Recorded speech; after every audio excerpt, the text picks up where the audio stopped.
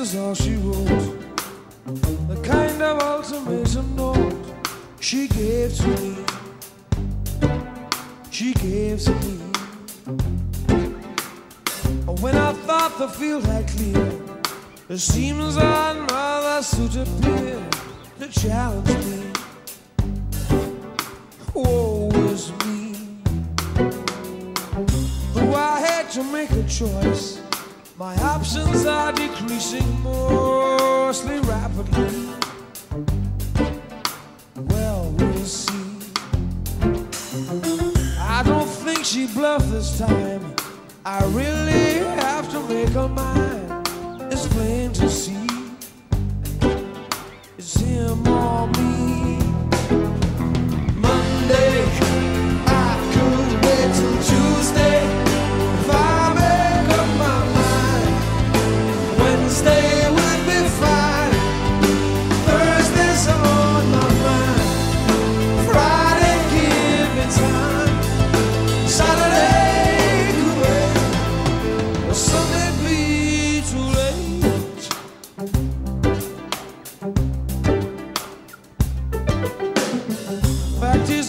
six feet ten, biting still, fearing other men, but not in me. The mighty fleet.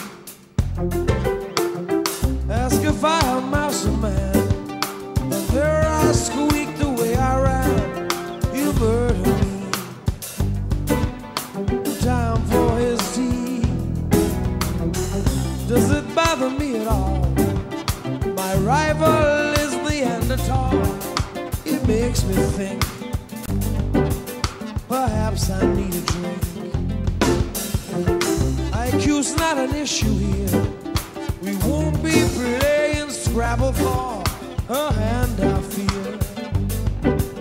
I need that bill. Monday, I could wait till Tuesday.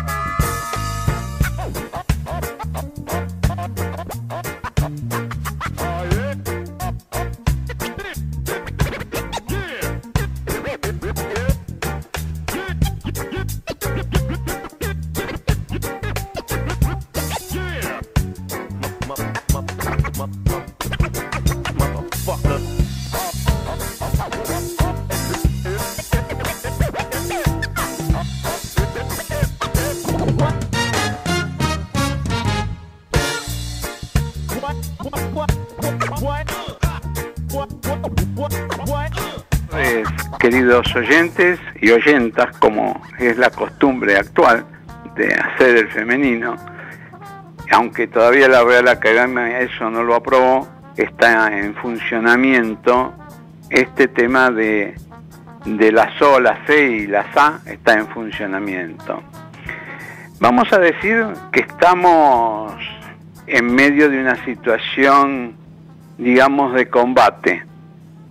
Y en esa situación de combate o de guerra mundial, encubierta por la pandemia y la guerra financiera y económica que hay entre los países, lo único que está haciendo es llevar a la muerte a gran parte de la población que mueren por varias causas.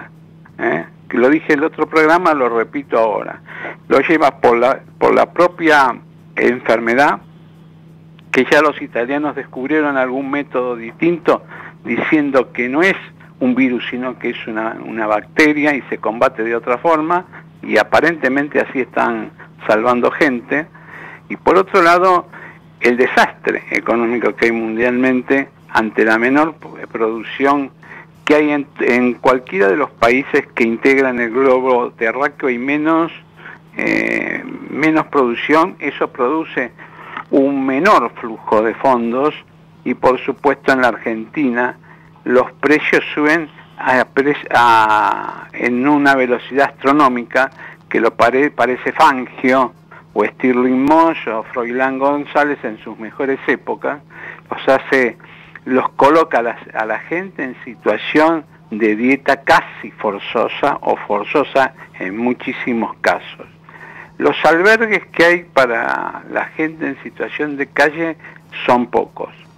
La cantidad de que se manejan en las cifras en la capital y en el Gran Buenos Aires no tenemos idea, no podemos asegurar que esas sean las verídicas. Por lo cual hay más miedo, más temor y se producen muertes por, por muchas cosas. Muchos por, por trombosis, se han producido, que es lo que dicen los italianos, en realidad producen la trombosis. Y, el tema de, del tema de pospandemia, toda la gente, ¿qué hago después de la pandemia? porque si esto sigue avanzando, como parece que lo van a llevar al 8 de junio y sí sucesivamente hasta septiembre, y puestos de trabajo que se pierden indefectiblemente porque los créditos a los bancos para las empresas no llegan y las pymes no tienen mucho para aguantar, yo te diría que tienen cero para aguantar. Entonces esto y las subidas y bajas del dólar que se están produciendo, digamos, hay un malestar que la gente preferiría no tener y la pospandemia, que es qué hago después de la pandemia, y las enfermedades pospandemia, que ya hay muchas, ¿eh? que son, son temas psicológicos y, y de psiquiatría que producen el encierro, producen el no hacer y el no querer no saber qué hacer después. Con lo cual, digamos, estamos en una situación como en las épocas de los montoneros las, de los montoneros, pero me refiero a las montoneras de Quiroga y a todas esas que se conocieron, donde había muertes y muertes y se producía lo que llamaba el mal de la guerra. Después, eso se estudió mucho después de la Primera Guerra Mundial, donde se usó el gas químico para, por primera vez para, en la guerra, y después de la Segunda, que era que la gente que había estado en los frentes de combate venían con muchos traumas y con muchos sustos. Entonces cuando había un ruido que parecía un balazo, pero que no era, pues ya la guerra había terminado, se producían corridas insólitas de un lado al otro y muchos terminaron en los lugares, de, en casas de salud mental. Con lo cual hay que tener mucho cuidado con el manejo de los encierros y con el manejo de la economía que te destruye, porque vas comiendo cada vez menos y vos lo que necesitas son proteínas para estar fuerte y poderle hacer frente a este tema tan difícil que es estas dos pandemias juntas, el de la enfermedad y la pandemia económica y financiera, más lo que se va a sumar después de la pospandemia. Y lo que no saben, y hay algo que no podemos dar de dato, qué es lo que pasa dentro de cada casa, va a ser un muestreo dentro de la casa, cómo la están pasando en estos momentos. Creo que eso es fundamental.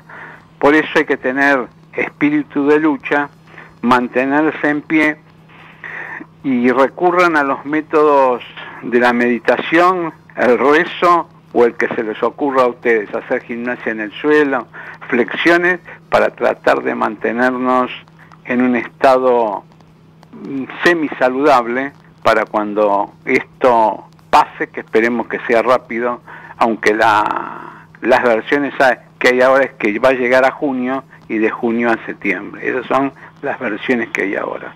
Las guerras matan, las pandemias matan, los gases químicos matan. Tenemos que terminar con estas muertes generalizadas y estas luchas por el poder de los gobiernos y aquellos gobiernos que están por que manejan la cosa por debajo de los gobiernos, que son las grandes empresas, las grandes religiones, las grandes sectas. Les pongo puntos suspensivos y me comunicas después con, con Jorgito que así tenemos un diálogo y su opinión sobre esta situación. Doctor Corrado, ¿cómo le va? Buen día. Buen día, don Jorge Console. Yo le digo, doctor Corrado? Ante todo quiero hacerle llegar un fuerte abrazo a gente de Río Negro que nos está escuchando, eh, a Jerónimo San Pedro y toda su gente que trabaja día a día en temas que tienen que ver con la seguridad y algún día lo vamos a sacar al aire cuando dispongamos de tiempo por para que nos dé a conocer la gestión tan importante que ellos hacen en la provincia de Río Negro. Respecto al panorama que usted brindaba, realmente da miedo y lamentablemente la realidad. O sea, hoy en día nadie está... Usted sabe que absolutamente nadie, nada, y sufriendo lo que nos indican, porque en realidad vamos cumpliendo órdenes. Salimos hoy, salimos mañana, salimos con tal número, con otro número, o sea, vamos saltando de, de decisión en decisión. El tema es que mantengan una decisión unánime, no que se empiecen a pelear, porque fíjese que mientras el Congreso no se reunía y la clase política aducía no poder viajar a la ciudad de Buenos Aires por el tema del, coronavirus, había una tranquilidad política impresionante, se podía vivir, estábamos todos en paz, tranquilos. En cuanto empezaron a venir para sesionar, que en realidad muchos no han venido, ¿no? se empezó a producir un montón de hechos de, vamos, venimos, peleas, este, quién manda en qué, territorio. O sea, ha cambiado tanto el panorama político desde que se activó, supone, eh, eh, el tema este de la presencia política y el funcionamiento del Congreso. Imagínese usted la, la millonada de plata que han gastado para poner a hacer las sesiones virtuales. Eso que uno puede apreciar en los noticieros o entrando al canal del Senado o diputado, vale una fortuna. No, la claro. instalación de las, de las pantallas y el funcionamiento. Pero usted sume, para eso, me meto un poquito en su tema y siguiendo su línea. Fíjese cuánto hay en sueldos desde el presidente hasta el último intendente, porque cada pueblo tiene su intendente y su consejo deliberante. Todo eso suma no una fortuna, miles de millones. Calcularé que son aproximadamente entre 3 y 4 millones de personas. Eso que viven de intendencias, este, instituciones administrativas a nivel nacional y provincial, ¿no es cierto? Ahora fíjese, una pregunta a usted que es economista. A la mayoría de las empresas este, le han recortado el salario acordando con el sindicato y con los dueños de las empresas en un 20-25% prometiéndoles mantener la fuente de trabajo y no pasa lo mismo en el ambiente de la administración pública. Bueno, en el ambiente de la administración pública, del presidente de la República, esta es mi opinión, ¿eh? no comprometo a nadie, desde el presidente de la República hasta el último intendente tienen que ponerse de sueldo cero. No, si no doy el ejemplo, yo que soy el que mando, ¿cómo los demás me van a hacer caso? Y para cómo están pasando hambre. La gente común está pasando hambre. Por eso, habría que alguien tener que dar dar el ejemplo y decir, bueno muchachos, vamos a nosotros vamos a ponernos a la cabeza, ya que al privado le piden toda esa colaboración, hagamos también con los empleados públicos, no digo con los que menos ganan, por supuesto, pero acá hay gente, mucha gente que está ganando fortunas y no quiere poner un peso. y hay algunos que cobran... el Estado no, ¿cómo es la mano? Bueno, hubo un, hay un candidato que no, hubo uno que fue candidato a presidente que no lo voy a nombrar, pero que empieza con L, su apellido, cobra dos jubilaciones y media. Una vez por ser secretario, otra vez por ser director y por haber estado en el, en el Banco de Bruselas. Cobra dos... de Economía ya por el 2003. Eh, claro, fue ministro de Economía, había sido secretario de Comercio de Alfonsín, director de precios en la época del 70, 72, que buen dolor de cabeza nos daba cuando teníamos que hacer las auditorías. Eh, bueno, bueno cobra como, 700 mil pesos. Eh, el hijo de esa persona que usted menciona está al frente del INDEC. Sí. Y tome, eh, por ejemplo, el, índice de, los precios que dio el mes pasado y dieron la, mitad de los productos, o sea, por eso dio el 1.5 o alrededor de eso. Claro, porque la gente compra menos. No, no, no solo no compra menos, es que no pudieron hacer el relevamiento físico porque obviamente no pudieron salir, entonces hicieron el relevamiento virtual de algunos de los precios, de algunos de los precios, no todos la canasta. O sea que imagínense, no quiero pensar en que empezamos a dibujar los números de la, de la inflación, pues entonces ya volcamos. Y los van a dibujar, no se aplica que los van a dibujar. Porque incluso ahora tienen, este, viene enganchado con el tema del UVA. Con el tema del UVA y con una serie de cosas más, ¿no? Sí, no, no, claro, por mencionar la, que le afectaría más que nada al ciudadano. El UVA, hay mucha gente que ha hecho colocaciones, pero también ha tomado préstamos porque le decían que era el mejor negocio que podían hacer en su vida. Nunca, porque yo tomo. ¿A quién se lo tomo? Una institución. ¿Dónde coloco el dinero para teóricamente tenerlo seguro? En, otra institución, que pague más intereses. Pero los intereses que paga de más siempre son menos que lo que te pagan a vos, porque ¿cuál es la ganancia del banco si no? Ninguna. Claro. Entonces siempre vas a perder con el plazo fijo. Sin duda, sin duda. Eh, hablando de plazo Esa es mi opinión sola, ¿eh? No, no, no, comparto, comparto. E incluso yo sé que en la segunda media hora usted va a estar con el doctor de Apena, que es el hombre que maneja la economía. Pero usted intervenga, intervenga porque hay que poner disciplina ahí con el doctor de bueno, Bueno, está bien, pero le voy a dar la, cómo están las monedas en este momento, que hay mucha gente que está esperando el dato. El dólar Eso se lo dejamos a él. Que lo diga el dólar solidario a 91 pesos, el dólar blue 122, el contado con liqui 119, dólar bolsa 114 y el dólar Banco Nación 70. Recordamos que si usted quiere comprar el dólar Banco Nación, tiene que no puede comprar más de 200 dólares, tener una cuenta en el banco y a eso le van a adicionar el 30% de impuestos por este, solidario, ¿no? Sí, pero yo antes de hacer una inversión en dólares también tengo que pensar lo que está haciendo Trump.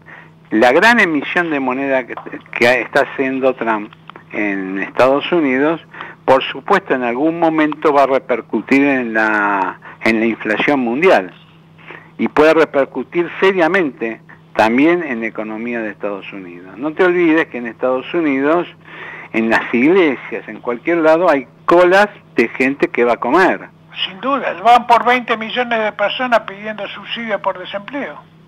Subsidio por desempleo, si no sé cuántos son en realidad los desempleados en, en Estados Unidos, pero el número es muy una alto. una población más o menos alrededor de 340, 350 millones de habitantes y ya tiene casi 20, más de 20 millones de personas que pidieron, pidieron el seguro de desempleo. No quiere decir que sean todos, o sea, debe haber más. Debe haber más, sí. Ahora, el riesgo país está en 2.776 puntos. Quiere decir que ha tenido una bajada significativa. Eh, la verdad es inentendible, porque ante una situación de parate como tiene la Argentina, y en realidad las empresas que estaban bien organizadas tenían negocios de caja diaria, a lo mejor con muy poquita utilidad, o cero, pero se ahorraban los intereses de pagar el descubierto de los bancos, y después inversiones de largo plazo. Inversiones, por ejemplo, la fabricación, digamos, textil es mucho más lenta que hacer un café. Pero a lo mejor tenían combinado dos negocios totalmente distintos en una misma sociedad y apalancaban, digamos, lo que tenían que pagar al banco. En vez de pagar los intereses, lo recaudaban genuino. Aunque la utilidad fuera cero, su recaudación era genuina y lo ganaban en los intereses. Si eso se podía hacer antes, hoy no lo puedes hacer porque está todo parado y además da la sensación que las mentes han parado su espíritu productivo. Y no es muy conveniente que digamos. Tal cual. Bueno, ahora para, antes de, ya aprovechando que son 12.30 y que viene el doctor Da Pena en el segundo segmento de este programa de hoy, le comento el tema coronavirus, los números del coronavirus. A nivel mundial hay contagiados 4.927.487, fallecidos 323.956 y recuperados 1.706.539. El panorama en la Argentina es hasta este momento contagiados 8.809, recuperados 2.933 y fallecidos 394. Bueno, vamos al corte, pero hágale pensar a la gente que pasa en los en los lugares donde están los viejitos internados, ¿no? Están... Sí, bueno, ahora empezó a bajar lo, que era tan temido, el tema geriátrico y el tema barrios sociales, ¿no es cierto? Ahora, esto ya se esperaba, ya estaba previsto que iba a pasar, que iba a ser como una especie de una pirámide, iba a venir de menor a mayor, y iba a pasar por todas las clases sociales, y, pero el, el mayor número, ya en algún momento ellos lo habían previsto. Ellos hablaban que la fecha clave iba a ser 10 de mayo, sin embargo ya estamos a 20, y aparentemente todavía no explotó la mayoría, según dicen los que saben. Bueno, Pero dejemos a olvídese de, por ejemplo, las clases o la actividad vuelvo antes de septiembre. Bueno, dejemos a los que saben que opinen de eso y que tenemos que ir al corte. Correcto.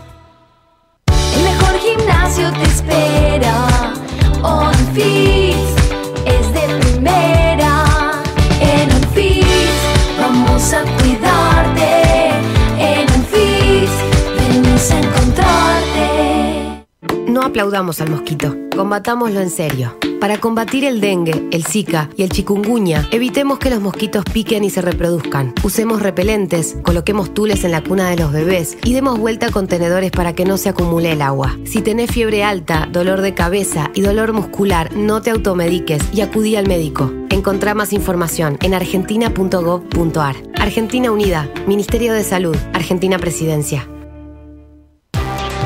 ¡Ay, pero qué tarde! ¿Qué se me hizo? Me tengo que apurar porque si no, no llego, no llego, no llego. No. ¿Pero seguro? ¿Qué problema? Eh, bueno, vamos a encontrar una solución. Bancame ahí que en dos minutos estoy con vos. Bueno, vos ahora te tenés que ir. Sí, pero yo quiero hablar de esto ahora. Cuando llegue a casa te llamo. Tres de cada diez muertos en el tránsito son peatones. Cruzá siempre por la senda peatonal o esquina, respetando los semáforos. Allí, todos los vehículos deben darte prioridad. Luchemos por la vida. Descarga gratis de tu celular la aplicación Ecomedios. Podés escucharnos en vivo, informarte con las últimas noticias y entrevistas en audio y video. Búscala y bajate la aplicación Ecomedios. Gracias por quedarte en casa. Gracias por no ser familiero. Por el aguante de vivir sin fútbol. Por hacer que cada día sea distinto para los más chicos. Pero también gracias por salir y arriesgar tu vida para salvar muchas otras. Por ir al campo. Por llevar el trabajo a los más importantes. Por estar ahí, en la caja del súper, como si nada hubiese cambiado. Gracias por el esfuerzo, por el optimismo, por darle para adelante aislados, pero más unidos que nunca. Argentina Unida, Argentina Presidencia. Podés vernos en vivo en ecohd.com.ar. ecohd.com.ar. Conectate con nosotros. Línea directa 4325 1220. Global Inversión el único fondo de inversión agropecuario focalizado en especies aromáticas. Más información en nuestra página globalinversión.com. En noticiasyeconomía.com.ar vas a encontrar la información y la opinión que no sale en otros lados. Gestión integral de inversiones inmobiliarias en Miami. Eduardo Pérez Oribe, presente en el mercado de Miami por más de 25 años, le brinda servicios de asesoramiento, búsqueda y análisis de opciones, gestión integral de la compra y administración posterior de su propiedad para que su decisión de invertir en bienes raíces en USA se concrete con óptimos resultados. Le ofrecemos un servicio diferenciado que incluye la compra y la gestión de todos los aspectos pre y post compra. Intertrust Realty Teléfono 52 56 7136.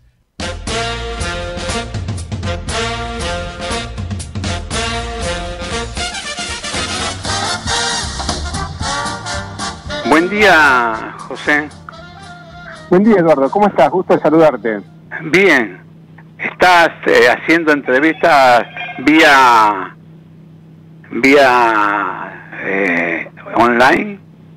Sí, sí, exactamente. En este caso, a través de Skype, nosotros tenemos un ingreso a la maestría pequeño en junio de este año, entonces, bueno, estamos, dado el hecho de que no puede haber, la universidad está cerrada, entonces la única forma de continuar trabajando es a través de mecanismos de transmisión online. Entonces, por un, por un lado, utilizamos la, la herramienta Zoom para dar clases, y por otro lado, la otra que utilicé también di una, una en, la, bolsa, en la fundación de la Bolsa de Comercio, con una que se llama GoToWebinar, algo así, eh, también.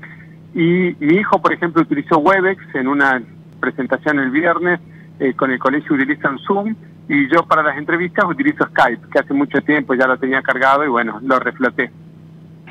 sí, hay, hay cada tanto, no sé por qué se borran, pero bueno, ahora, bueno, es una forma de comunicarse más en este tiempo de de tecnología, pero mucho, muchos disturbios económicos me parece que hay, ¿no? En, por lo menos es lo que uno lee a través de los diarios y trata de analizar. Sí, sí, te cuento, mira, te cuento qué es lo que está pasando. Ya tenemos como siempre los mercados cerrados en, en el sudeste eh, asiático. Eh, tenemos el Hang de Hong Kong que cerró eh, cerraron todos para arriba, eso es una buena noticia, todo en verde, el Hansen cerró 0.05% para arriba, bueno, casi nada, el Nikkei 0.79% también, casi nada, están en el valor medio entre el mínimo y el máximo de los últimos 52 meses, es decir, si, si uno considerase como el mínimo valor de los últimos 12 meses como un tanque vacío y de nafta y el máximo valor del índice como un tanque lleno, está a medio camino, a medio tanque, o sea, está en el valor medio. Había llegado a los mínimos luego de lo que sucedió en febrero, marzo, y bueno, se recuperó de manera bastante significativa. Bueno, eso sucedió con todos los índices de acciones. El DAX alemán 1.38% para arriba también, el FTSE inglés 1.04% para arriba, en lo que hace Estados Unidos, el Dow Jones también noticias positivas, 1.76% para arriba, y el SP500 1.92% para arriba. En lo que hace al índice del miedo, este que seguimos, nuevamente por debajo del 30%, había subido, subió en la semana por encima del 30%, pero afortunadamente bajó de nuevo, así que hay menos miedo, menos incertidumbre, 28% es el índice, el valor del índice VIX. Esto refleja el grado de incertidumbre que esperan para el mercado de acciones, en este caso el SP500, en los próximos 30 días. También afloja un poco la tasa de los bonos a 10 años en Estados Unidos, 0.71% eh, anual. Si bien no es bueno que suba la tasa en este contexto, sí es bueno, porque los bonos del Tesoro de Estados Unidos se utilizan como un refugio. Entonces, siendo que son un refugio, cuando todos compran bonos, eso implica que el precio del bono sube y eso implica que su retorno baja que el retorno esté subiendo significa que no hay tanta presión compradora, o sea que hay un poco más de tranquilidad dentro de los mercados. Eh, no hay, por el momento, eh, hubo algunas noticias al respecto de que podía llegar a haber alguna vacuna. Hay una empresa que se llama Moderna en Estados Unidos que cotiza, sus acciones subieron muchísimo, luego no se confirmó el resultado que, que hubiera, pero hay bastante, veía hoy en las noticias que a nivel internacional hay 118 proyectos de vacunas contra el coronavirus que se están eh, analizando. Lo que hace también al, oro, el oro hoy sube un 0.08%, está en 1.745 dólares la onza, la onza Troy. El petróleo también ya recuperó gran parte, sube hoy 2.72% del WTI, 32 dólares con 83 el barril de petróleo. Recordemos que acá en Argentina salió la regulación para fijar el precio del barril del petróleo criollo, que se llama, en 45 eh, dólares. La soja en Chicago, para arriba, 311 dólares con 22 la tonelada, 0.53%. El trigo en Chicago, 1.16%, 185 dólares con 37. Y el maíz en Chicago cae levemente 0.86%, 125 dólares con 39 la tonelada. En el caso de los mercados de acciones, tenemos el, Merval, en este caso, eh, hoy sube un 0.61% y ya está llegando a los 40.000 puntos. Es una buena noticia. Llegó a estar en 45.000 puntos, pero recordemos que con un valor de dólar de 25, de 26, o sea, 1.700 eh, dólares. Ahora está casi en 40.000 puntos, pero con un valor de dólar que si tomamos el contado con liquidación está en 118 dólares. O sea que, bueno, son, es un valor bastante bastante bajo. Tiene espacio para recuperarse en la medida que se vaya vayan normalizando las condiciones de eh, la renegociación de la, de la deuda. El Bovespa también sube, todos los mercados por suerte hoy en suba, el Bovespa sube 1.66%, ya pasó la barrera de los 80.000 puntos, ya está en 82.000 puntos, 82.078 eh, puntos el riesgo país en lo que hace eh, cae hoy, es una buena noticia, sube la bolsa y cae el riesgo país, pero por lo que vemos está quizás estaría un poco más motivado por lo que sucede a nivel internacional. De todas formas, rompió la barrera de los 3.000 puntos, el riesgo país está en 2.761 puntos, hoy cae un 2.27%. Así, el, y finalmente el índice que siempre medimos, el de XY, que es la fortaleza del dólar con respecto a una canasta de monedas internacionales. Por debajo de los 100 está en 99.04. Esto significa que bueno, hay una leve depreciación del dólar en la última semana a nivel mundial contra el resto de las eh, monedas.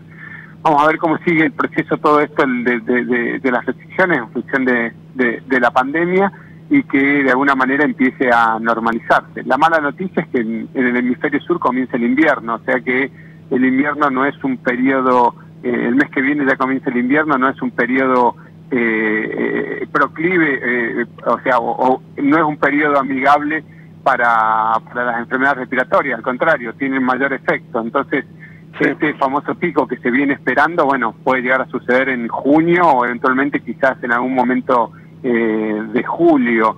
Entonces, bueno, eso lleva a que todo este proceso de cuarentena quizás de alguna forma se vaya a extender en el tiempo, por más que ahora solamente piensan extenderlo hasta el 8 de junio, el 24 de mayo finalizaba el plazo que se había establecido dos semanas, y bueno, está circulando que se va a extender hasta el 8 de junio. Lo más probable es que del 8 de junio, junio se extienda hasta el 15 también, nuevamente por esto que te estoy mencionando, es decir, el pico de contagios va a estar bastante afectado por las condiciones climáticas y por el momento del año en el cual se producen los picos de contagio en general de gripe en el hemisferio sur, que es el mes de junio y eventualmente un poco el mes de el mes de julio. Esas no son buenas noticias, pero bueno, es lo que es lo que es, digamos, más allá de alguna intención voluntarista que uno puede llegar a tener de que bueno, todo esto se solucione antes, ¿no?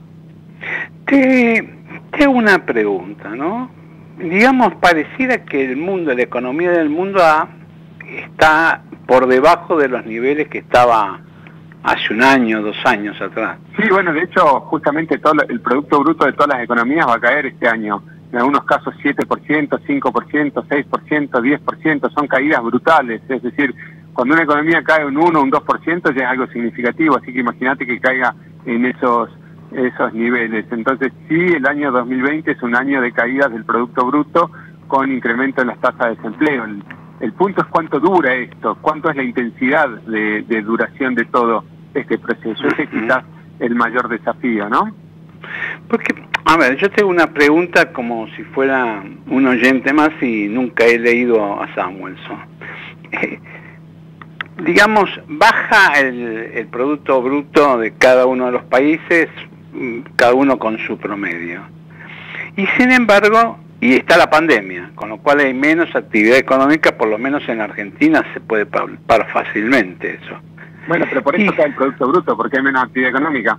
Está bien. ¿Y cómo es que suben las acciones de las empresas? Porque supone que las empresas van a ganar menos con menos actividad. Bueno, hay dos, hay dos, hay dos, hay dos elementos que están conjugando en ese sentido. En Argentina, principalmente por un tema que están muy, muy abajo y además hay inflación. O sea, hay un, por poco que haya, hay un proceso inflacionario. Entonces, eso es en Argentina, ya parten del subsuelo. Y lo que hace Estados Unidos, esa es una famosa disquisición que se está haciendo entre lo que sería Main Street, o sea, la calle comercial, y Wall Street, que sería la calle financiera. En lo que de alguna forma los dos elementos que están sustentando el precio de las acciones son, por un lado, la expectativa de que todo este proceso no dure mucho.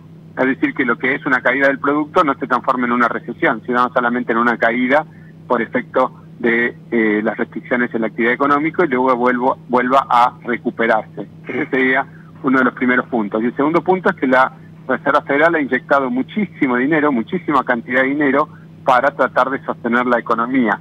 Y así como el Banco Central acá inyecta dinero y parte de ese dinero se va al dólar, bien, a las diferentes manifestaciones del dólar, en Estados Unidos parte de ese dinero se va a las, a las acciones. Entonces eso es lo que de alguna forma está manteniendo los precios de los activos financieros. Aparte, recordemos también que cayó bastante.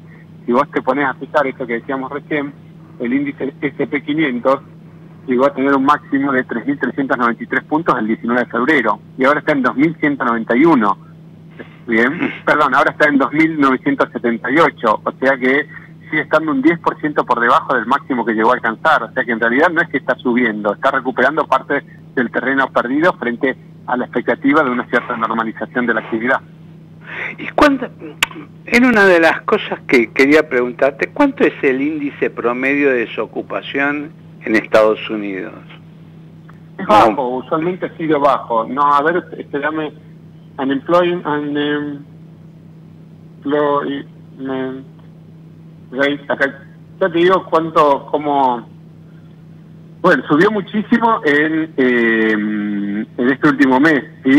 va a llegar al 14.7, lo cual es un dato escalofriante, ¿sí? porque mucho para Estados Unidos, exacto, Estados Unidos es un país que puede tener entre 2 y 3 y 4, no más allá de, de, de esa de, esa tasa de esa tasa de desempleo, es una tasa normal para Estados Unidos es el 4.4. Fíjate que en marzo, en, febrero del 2020 tuvo una tasa de desempleo del 4.4 y en abril del 14.7, o sea que es una barbaridad. Pero eso es como consecuencia de la flexibilidad del mercado laboral, porque en definitiva, cuando una empresa no puede, eh, le cae la actividad económica, no contrata gente, despide gente y esa gente va al seguro de desempleo. Pero justamente ese mismo proceso, esa flexibilidad hace que después cuando la empresa recupere la actividad pueda contratar rápidamente a la gente, porque no tiene ningún tipo de costo. Entonces el mercado es bastante flexible y funciona como un seguro de desempleo. Es decir, cuando no podés tener a la persona, yo eh, me hago cargo y después, cuando recuperas la actividad económica, la vuelven a contratar. Si yo tuviese problemas para, para, para, para, para despedir a la gente, obviamente que no la contrataría en una primera instancia, porque tendría miedo de que cuando llegue el momento no pueda hacerme cargo de los gastos laborales que genera esa persona. Exacto, exacto. Es el último punto Sí, sí, el último punto que creo que vale la pena mencionar es nosotros estamos este, los bonos de ley extranjera en Argentina están en un proceso de renegociación. Eh, el mes pasado no se pagó un pago que tenía que hacerse de 500 y pico de millones de dólares, 503 millones de dólares. Ese pago vence, tiene 30 días, a partir y eso vence este viernes. Se menciona, se dice que quizás no se vaya a pagar, se está renegociando, se va el plazo también para que entren las expresiones de interés para para canjear la deuda también vence este viernes, se está hablando de que se va a extender por 10 días más, o sea, bueno, está todo en un proceso de renegociación, el tema de la deuda, sobre todo con la ley extranjera, bajo la premisa de que si se llega a un acuerdo, que debería llegarse a un acuerdo, porque las cifras que están en juego no son demasiado significativas para lo que es el tamaño de la economía argentina, pero bueno, obviamente es una negociación en la cual ambas partes tratan de obtener el mayor beneficio eh, eh, posible. Entonces, eh, eh eh, dada esa dada esa circunstancia se espera que se siga renegociando que se siga trabajando y la expectativa es que lo que se negocie para los bonos de ley extranjera después se aplique a los bonos de ley eh, argentina o sea que bueno está todo eh, todo esto está siguiendo los lineamientos que desde mi punto de vista se establecieron en marzo de este año en un informe del FMI en cierta forma de cuánto tendría cuánto debería ser la quita de la deuda argentina como para que la misma se volviese sustentable. Desde mi punto de vista, ese es el informe rector que está guiando todo este proceso de eh, negociaciones. Y dentro de ese proceso de negociación, bueno, eh, están la, la intención de los de los tenedores de bonos de perder lo menos posible, lo cual es perfectamente lógico, y bueno, por parte del Estado de tratar de mantener un acuerdo que le permita cumplir con esos, con esos compromisos. Sí, ¿y cómo haces, digamos, cómo incentivarías la producción para el post, eh, post pandemia? Bueno, un gran punto en ese sentido es la expectativa, es decir, eh, la gente mientras tiene una expectativa futura positiva, se lanza a invertir, se lanza a consumir, se lanza a gastar. Cuando hay miedo, el, principal componente de la, el, principal eh, la principal amenaza que tiene una economía es el miedo, porque el miedo paraliza. Cuando vos tenés miedo, te paraliza, no haces nada, guardás y te, te encoges como hace un bicho bolita y no, no haces nada por miedo que no sabes qué va a pasar, entonces tratás de protegerte. Entonces, desde mi punto de vista, esta es una economía que necesita una inyección de confianza, un cambio de expectativas. La, renegociación positiva de la deuda, si sale bien, sería un paso extremadamente importante en ese en ese sentido. Y sobre eso generar un marco de previsibilidad, de predictibilidad, es decir, que de alguna forma puedas tener una circunstancia en la cual, bueno, no tenga miedo yo de gastar porque sé que más adelante voy a tener trabajo y voy a poder mantener eso que estoy gastando. No tengo miedo de invertir porque, bueno, sé que si invierto voy a obtener un retorno y que ese retorno no está amenazado por ningún tipo de regulación del, del Estado. Eso creo que es, más allá de aspectos puntuales, eso es el principal componente que hace que una economía crezca, que una economía decrezca. Las regulaciones en ese sentido generan miedo. Mientras más regulaciones hay, más miedo hay. Y el miedo nuevamente paraliza, es decir, frente a una situación de temor, incertidumbre, de miedo, uno en lugar de consumir, en lugar de invertir, en lugar de arriesgarse, en lugar de proponer iniciativas, tiende a encogerse por las dudas llega a pasar algo. Es decir, es una es una es un instinto natural que sucede y que también se ve verificado dentro de la eh, economía. Ajá, y entre los principales autores que han tratado el tema de, del desempleo y la inflación, ¿qué, qué, ¿qué libro es más fácil de leer para el público que no ha ido a la Facultad de Ciencias Económicas, sino que ha ido a otras, por ejemplo, a Derecho? que generalmente les cuesta entender lo que es la inflación. Mira, tendría que buscarlo. La verdad que puedo comprometerme a buscar algún libro que sea fácil de entender, así te lo comento el próximo miércoles. ¿sí? Tenés que escribir un libro sobre eso. y, claro, me encantaría. Primero, hay tantas cosas para leer, tantas cosas para leer, ya con el tiempo no me alcanza para leer. Así que imagínate después para escribir. Así que bueno, creo que.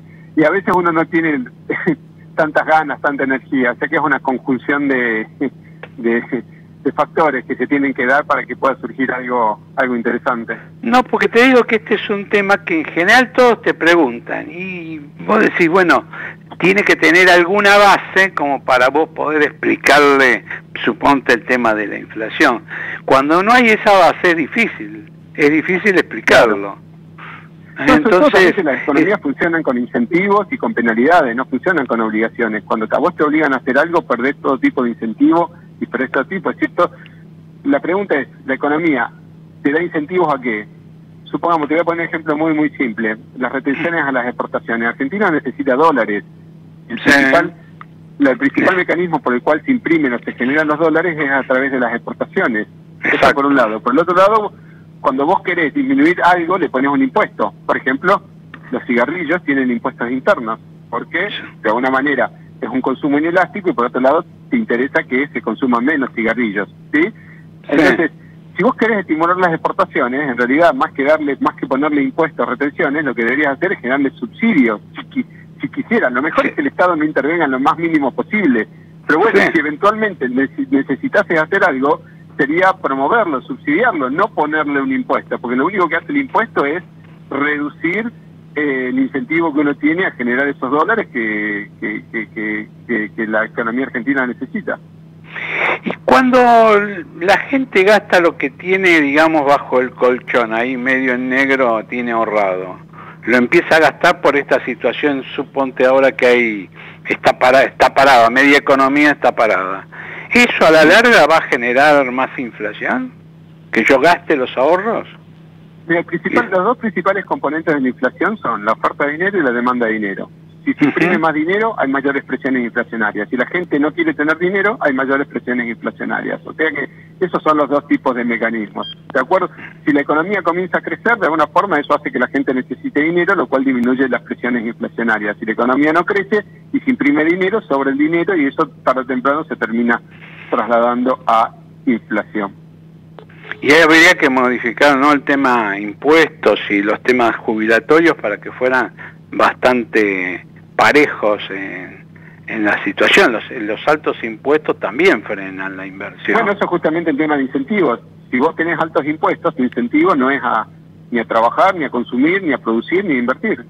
Claro, jugás un poco con el dinero. Así es. Te tengo que dejar, Edu, porque tengo ahora Que una tenés hora una. una entrevista. ¿No? Exactamente, sí, pero bueno, les agradezco mucho el llamado y, No, no, y nos vemos si próximo- quiere. Sí, el próximo programa lo hace solo. ¿Por qué? Y porque es el castigo por no trabajar hoy. Bueno, muy bien, que buen día, ¿eh? un gusto. Listo.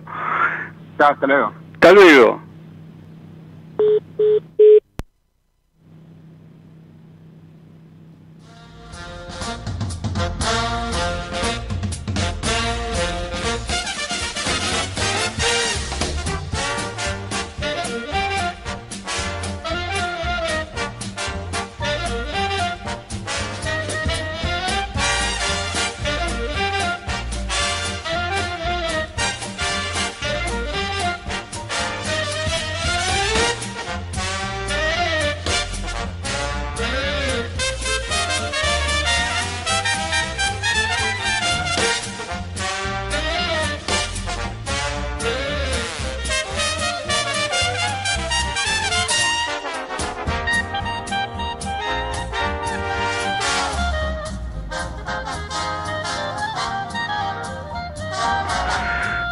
Seguimos en Café y Finanzas, en este tramito antes de ir al corte de las 13. Y vamos, bueno, vamos a, hablar un poco de lo que pasa en los libros y que creo que sería como casi obligatorio leerlos como para entender un poco más lo que es la política y lo que es el y lo que son las distintas formas de gobierno. Yo les voy a dar mi opinión. En esta situación que estamos hoy, donde todo se maneja por decreto de necesidad y urgencia, creo que estamos directamente en un sistema fuera de la democracia, sino que es un, sistema casi dictatorial, por no decir tiránico. Y eso es típico de los gobiernos populistas. Todos los gobiernos populistas han gobernado de esa manera. En general, cuando tienen eh, crisis de este tipo, han gobernado de esa manera, por, con decreto de, eh, necesidad de urgencia. Y si hubieran sido gobiernos dictatoriales directamente, como los que surgieron de las distintas revoluciones del, de- del siglo XX, por supuesto, ese, esa forma de gobierno que enmascara una democracia que no existe, eso produce ese tipo de decreto de necesidad de urgencia que lo hacen por decreto. ¿Qué significa? Yo ordeno hacer esto. Eso significa decreto de necesidad de urgencia. Si está bien o está mal, nadie lo revisa. Hay que ver si el decreto que yo saco de necesidad de urgencia lo reviso, porque en realidad alguien lo revisa. Porque si el decreto sale mal, vos no tenés ningún castigo por haberlo hecho mal. En cambio, en Roma, cuando se aplicaba la dictadura, que era por seis meses, en general el dictador que cumplía mal sus funciones después de los seis meses, aparte de dar cuenta de lo que había hecho y había salido mal, por ejemplo, el- las, las estrategias que hubiera usado el ejército romano en Siria, eso lo llevaba directamente a que le cortaran la cabeza. Entonces había un castigo muy duro. Vos pues, eras dictador, pero no te equivoques, porque si te equivocás perdés la cabeza. Ese era, era el castigo. Y en- para referirnos al populismo, lo que sería el populismo, que sería un poco el gobierno de, la, de las mayorías computadas de acuerdo a la ley argentina, no tan bien computadas, Ese es el populismo en Argentina y el mundo donde Roque Fernández y Emilio Campo hacen una compilación de este tema y en su contratapa dice, eh, dice hace, hace poco más de una década la politóloga eh, inglesa Margaret Conowan observó que muy pocos de sus colegas creían que el populismo merecía su atención porque lo consideraban un síntoma patológica de la enfermedad social o un fenómeno político que eludía una definición precisa. Es decir, es esto, ¿no? Decía, bueno, hay un gobierno popular que lo que yo te digo tiende a la a, la, hacer una dictadura y esa y eso lo, lo, transforma y lo deja fuera de lo que serían eh, los gobiernos realmente democráticos. Estamos en la una, pero le digo que piensen, no piensen, saquen conclusiones de esto, de estos gobiernos eh, que no se llaman dictatoriales, pero en definitiva se, se, se convierten en esto, y con ese pensamiento hay que sentarse un largo rato y hacer un par de combinaciones de palabras a ver a qué llegamos. Vamos ahí al, al corte, que Javier hoy atentamente está jugando a tres puntas. Desde Buenos Aires, transmite LRI 224, AM 1220, Ecomedios. Econoticias. Toda la información al instante. Muchas gracias. Fernando Espinosa se reunió con la Gendarmería para ampliar los controles de la cuarentena. El intendente de La Matanza Espinosa se reunió con el subsecretario de Intervención Federal Luis Morales, perteneciente al Ministerio de Seguridad de la Nación, y con el comandante mayor de Gendarmería Nacional, Rubén Jaboski, para analizar el trabajo conjunto de las distintas fuerzas de seguridad en el distrito. Esto decía Espinosa con respecto a ampliar los controles, como decíamos, de la cuarentena y criticó la apertura de la ciudad de Buenos Aires. Una reunión muy pero muy importante, muy fructífera, con el jefe de Gendarmería. Hoy la matanza está muy por debajo de los contagios de la media nacional, de la media provincial. Desde el primer momento tuvimos un trabajo de, controlar la cuarentena en cada una de las 17 ciudades y la verdad que es importante recalcar, los días más difíciles todavía no llegaron. No hay que relajarse con respecto al cumplimiento de la cuarentena. No vemos bien que la capital federal haya generado una apertura tan flexible de la cuarentena. Vemos que abren hasta joyerías o hasta artículos de decoración, mueblerías. No podemos entender eso porque todavía falta un mes para el pico en la Argentina y esto va a generar graves problemas. Por lo tanto, tenemos que tratar de reflexionar todos juntos y de volver a ver con mucho equilibrio cuáles son las medidas que tenemos que tomar. Luciana Giordano, Econoticias. La mejor información pasó por Econoticias, ecomedios.com. Tengo algo excelente para recomendarte. MGN Salud es una empresa de medicina que te da más servicios, más beneficios y la mejor atención. Anota, llama a MGN Salud al 4629-3351. Podés asociarte ahora y aprovechar tus aportes. Llama al 4629-3351 y asociate a MGN Salud. MGN Salud llegó para cuidarte. Superintendencia de Servicios de Salud www.sssalud.gov.ar 0800 222 72583. RENEM número 117924. Gracias por quedarte en casa. Gracias por no ser familiero. Por el aguante de vivir sin fútbol.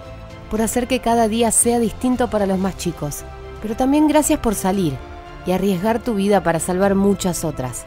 Por ir al campo. Por llevar el trabajo a los más importantes. Por estar ahí, en la caja del súper, como si nada hubiese cambiado. Gracias por el esfuerzo, por el optimismo, por darle para adelante. Aislados, pero más unidos que nunca. Argentina Unida. Argentina Presidencia. Descarga gratis de tu celular la aplicación Ecomedios. Podés escucharnos en vivo, informarte con las últimas noticias y entrevistas en audio y video. Búscala y bajate la aplicación Ecomedios. La información que pasa por Eco está en ecoya.com.ar. Ecoya.com.ar. Conectate con nosotros. Twitter arroba Ecomedios 1220. Global Inversión. El único fondo de inversión agropecuario focalizado en especies aromáticas. Más información en nuestra página globalinversión.com. Mantenete siempre informado en www.noticiasyeconomía.com.ar. Gestión integral de inversiones inmobiliarias en Miami. Eduardo Pérez Oribe, presente en el mercado de Miami por más de 25 años, le brinda servicios de asesoramiento, búsqueda y análisis de opciones, gestión integral de la compra y administración posterior de su propiedad para que su decisión de invertir en bienes raíces en USA se concrete con óptimos resultados. Le ofrecemos un servicio diferenciado que incluye la compra y la gestión de todos los aspectos pre y post compra. Intertrust Realty Teléfono 52 56 7136.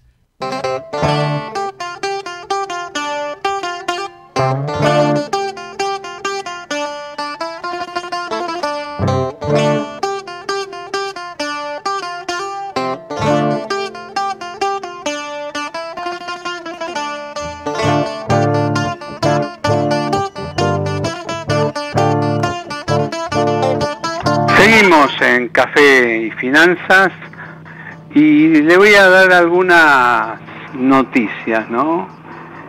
Eh, creo que la reforma impositiva, hay varios proyectos que varios estudios han presentado. Después hay que ver si lo tratan. Entre ellos el nuestro, que acercó un proyecto vía, vía mail, por supuesto, a la Cámara de Diputados. Por otro lado, digamos que 1330, 1328, ahí está el programa Artistas, que te le gusta pronunciarlo a Jorge. Artistas, a ver, todo suyo. Artistas all over the world. Muy ¿eh?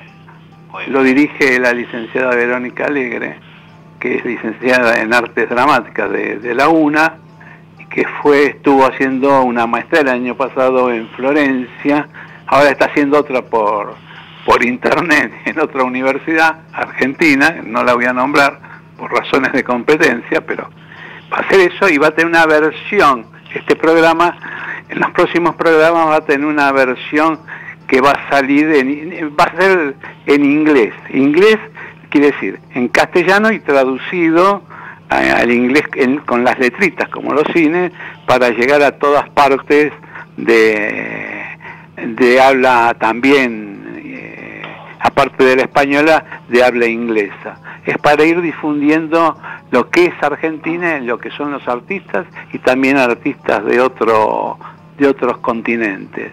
O sea, va a este salir subtitulado. Subtitulado. Y este mismo programa sale por YouTube, por el canal de YouTube, eh, los miércoles 21 horas hora argentina, pues tengo algunos amigos que viven en España y lo ven por YouTube en la hora española y también lo escuchan desde allá. Por eso tienen, nosotros tenemos a veces noticias de lo que está pasando en España. Por ejemplo, en España con respecto a esta epidemia es Madrid totalmente cerrada, igual que nosotros, y Barcelona totalmente abierta porque están sobre el mar y tienen clima más cálido que Madrid. Esa es, digamos, dividiendo en dos, en dos grandes ciudades, España, que a su vez tuvo una larga historia de guerras. Algunas de ellas las vamos a ir comentando acá en, el, en la charla que tenemos ahora con, con Jorge. Ahora permítame seguramente agregarle un comentario. Seguramente creo que en ninguna parte del mundo debe haber, e, como en este momento, cerca de la 9 de julio y Sarmiento, una manifestación del MAS, si bien los manifestantes mantienen la distancia social, este, me gustaría saber cómo llegaron hasta ahí, ¿no es cierto? Pero bueno, no importa, este, ya están manifestando por las calles de Buenos Aires ¿Y qué alrededor de 200 personas. ¿Y qué están pidiendo? Bueno, imagínese, son del MAS, la mayoría de las banderas son del MAS, o sea que alguna participación política y o algún reclamo por fondos, que normalmente es lo que suelen hacer, todavía esa información no me llegó, pero sí la visualmente están en la calle manifestando. Cosa que no creo que esté pasando en ninguna otra parte del mundo, ¿no? Mm, no, insisto, no. si bien guardan la, la distancia social, tienen el barbijo y este, van en fila de tres a cuatro personas a lo largo. Pero Bueno, creo que no quiso cambiar En el mundo manifestando gente en la calle no debe haber. No, seguro eso. Pero usted porque no quiso Otro, ir a otro, hacer... otro milagro argentino. Bueno, algún milagro hacemos los argentinos. No, bueno, por ejemplo, darle al, al jubilado el 6% de aumento y, y Es tratar mucho, de hacerlo aparecer una hazaña, un anuncio como monumental que resulta ser que son alrededor de 500, 600 pesos, lo cual vale, no sé, una caja de remedio más barato, pues los remedios de la medicación están, si bien ahora hay un listado de medicación que la van sin cargo, son de determinados productos, de determinados medicamentos y de determinadas drogas. Pero de todas maneras me parece que en, otros casos han firmado aumentos de hasta 10 mil pesos sin que se les tiemble la muñeca y acá como una gran cosa anuncian este, un 5% para gente que menos gana, que nadie protege, que es el 80%, porque encima tiene que sufrir otra disparidad, que es de la cantidad de jubilados dentro de los que paga el ANSES, están los, los jubilados que realmente aportamos toda la vida, o sea que hemos puesto 42 años, en mi caso 43, regularmente toda la plata todos los meses, y me dan la misma jubilación que un tipo que entró por una moratoria y que nunca trabajó y ni nunca aportó. Bueno, eh, yo ¿Cómo le- puede ser? A ver, ¿quién, quién me explica una, una cosa por el estilo? Nosotros empezábamos a aportar un poco después, en- digamos, porque hacíamos la colimba, o sea que Claro, un año, un año y medio o dos lo perdíamos eh, sin ir a la facultad. Sin embargo, si eras un tipo prolijo y estudia y estudioso, aunque te fueras a jugar los sábados a la tarde al fútbol y a la noche corrieras alguna carrerita por ahí, no, no le hacía el tema en cuanto a la duración de la carrera. Tardabas, si una mujer se recibía, suponete, a los 23 años y medio, un hombre se recibía a los 25 porque había estado esos dos años eh, adentro. Que no los cuentan como antigüedad en la jubilación, a pesar de que los soldados tenían un sueldo simbólico, pero tenían sueldo. Claro. Y eso no lo cuentan como antigüedad. No, primero. para nada. Pero bueno, de todas maneras, este, a mí lo que me da mucho fastidio es el, la- el trato diferencial, es, es, es subestimar a una clase que dejó mucho trabajo en este país, Y que sí. hizo muchas obras, que dejó muchas cosas, muchos testimonios, y sin embargo ahora lo tratan como si fueran lo peor. Claro. No- y no por eso- sale ningún político, porque eh, la verdad que, mire, tengo una indignación con este tema porque me- realmente es una estafa lo que están haciendo toda la clase política. No me interesa la bandería política ni nada, absolutamente toda la clase política. Ellos se fijan en los negocios de ellos y nada más, y lo que le pueda dar votos. No quiero pensar lo que va a ser la campaña para el año que viene. Una vergüenza, espero que todavía no estén pensando en eso, sino cómo vamos a llegar Sí, a, ya lo están pensando. o fin de junio, fin de julio, sé yo, una cosa por el estilo. Pero realmente escucharla a esta gente y a escuchar incluso a algunos periodistas los conceptos de, de- sobre el coronavirus y lo- todo lo que está pasando con el tema de la pandemia, es lamentable. No, Realmente bueno, es lamentable.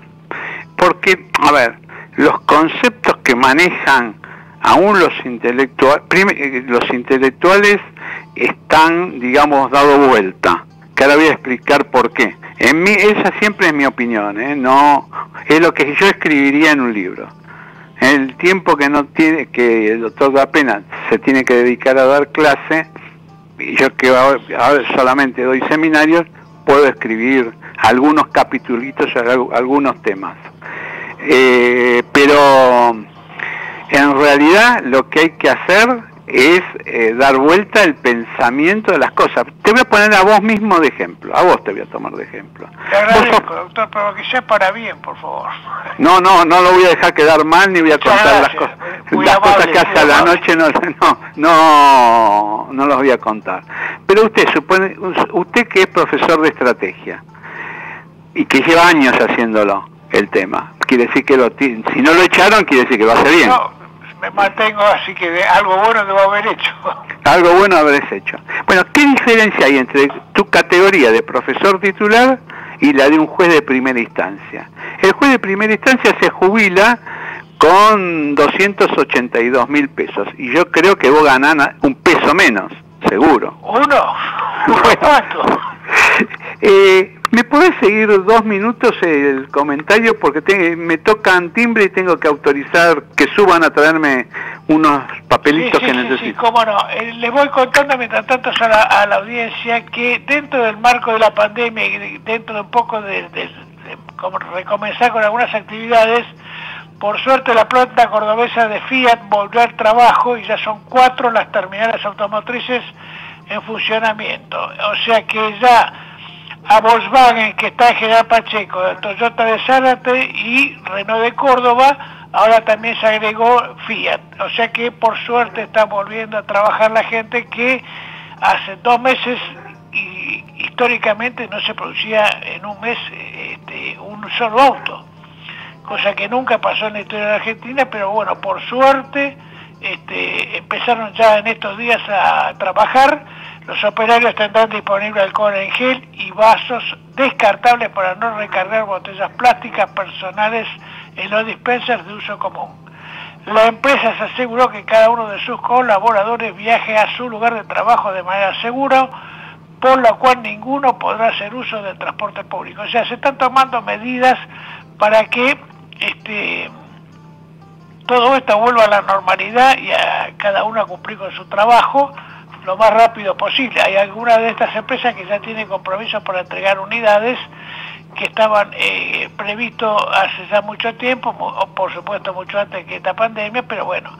Y otra de las cosas que ha impactado es que la, con el valor del dólar y como se ha movido la moneda norteamericana, prácticamente los autos en valor dólar, en valor dólar, casi se han reducido a la mitad y eso llevó a que la mayoría de las concesionarias que venden este tipo de autos están casi agotando sus stocks. O sea, este es otro de los milagros y otra de las cosas inexplicables que pasa en Argentina, ¿no es cierto? O sea, de golpe aparecen este, eh, inversores, aparecen, eh, bueno, por suerte, dan trabajo y movimiento comercial a los que hasta ahora estaba totalmente parado. Así que bueno, por otro lado, este, se, la- mantienen las cotizaciones, ya pasada la, una del mediodía, eh, sigue siendo el valor del dólar solidario 91, el blue 122, el contado con liqui 119, el dólar bolsa 114, el dólar Banco Nación 70 pesos ah, y el Riego País 2.776 puntos. Comentarios sobre los cuales ya ha hecho el, doctor Da Pena y obviamente ha reciclado o reformado este, el doctor eh, Corrado. Por otro lado, este, un título de Infobax, Infobax eh, dice Axel Kisilov, si en la ciudad van a abrir los comercios que no vaya a trabajar la gente de la provincia de Buenos Aires. Yo no sé, han entrado en una en una pequeña como guerra, no sé cómo llamarle a esta cosa de poner entre capital y provincia, establecer un- una, una imagen, una diferencia de pensamiento y llegar al enfrentamiento de que sí, que no, quién tiene la culpa, quién no tiene la culpa, y acá se empieza a ver ya el trasfondo político de quién es el gobierno, cómo maneja el gobierno, y quién maneja la provincia y a quién es la que realmente manda la provincia y quiénes le siguen. Hoy, sin ir más lejos, se reunió este, el intendente hace eh, cuestión de horas de la matanza con el jefe de gendarmería para pedirle mejor este, protección y que le manden más hombres. Cuando en realidad creo que la primera entrevista la tendría que haber hecho con Bernie, que es el que tiene la policía que está en el territorio de la matanza, pero bueno, no, con gendarmería. O sea, está recurriendo por encima de, la policía que le asiste y recurren a una fuerza federal que en realidad no tiene sus planes el cuidar este lo que pasa en las calles de la matanza. Pero bueno, si sirve para refuerzo, si sirve para dar una mano y si sirve para que esta pandemia no afecte a gente de barrios carenciados, bienvenido sea. Y de más protección, bienvenido sea. Hola. Pero bueno, sí, doctor Corrado. He vuelto. Perfecto, ¿cómo le fue? Bien. Y tenés que, acá tenés que la obligación de bajar, si traen algo, tenés la obligación de bajar y firmar lo que te traen. Bueno, sabe que eh, lo que he visto en estos días es, por suerte, o la cantidad de gente que hay de, de- de mercado, bueno, vamos a decir, de mercado pago y mercado libre entregando mercadería, es increíble cómo la gente se ha volcado a comprar por internet, por ejemplo. Y bueno, va a haber que transformar los locales en vivienda. Sí, yo creo que hay, hay cosas que están llegando para no irse nunca más, o sea, modalidades de, de usos de, de- sistemas bancarios, compras, este, un montón de cosas que ya no, prácticamente la gente te va a adoptar, Te doy no se van a cambiar nunca más. Te doy un ejemplo fácil. Sí, en este caso porque son papeles donde después hay que certificar la firma, hay que mandarla al consejo y al colegio, al consejo profesional y al colegio de abogados. Por eso tuve que ir a recibirlo, firmarlo y volver, y después con la misma firma digital lo firmo, llamo una monto y se la vuelvo a mandar al cliente. ¿Sí? Porque hay que ir a presentarlo en, la me- en, la me- en una mesa de entrada de un juzgado. Pero, te y eso cambia el sistema de vida. Es más, yo le- les doy una...